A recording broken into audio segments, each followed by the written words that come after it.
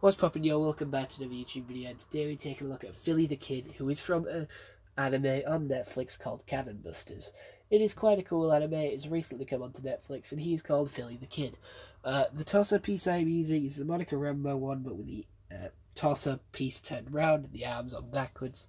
I'm also using um, Stargirl's legs from the LEGO DC minifigure series. I'm also using Monica Rambeau's hairpiece from the LEGO Marvel of the LEGO Disney Plus minifigure series. I'm also using the headpiece from Lucas from Stranger Things. Philly the Kid is a character who uh, parents with murdered uh, family, like all that was murdered. So he went to a wizard, wished for immortality, so now he can't die, but he had to exchange his soul, uh, and now he can't die. Every time he does die, or would have died, um, he gets the number uh, tattooed on him. So he has like one, two, three, four, five, six, seven. Uh, it doesn't change the number, if you know what I mean. If you like, there isn't a set place for the number to be.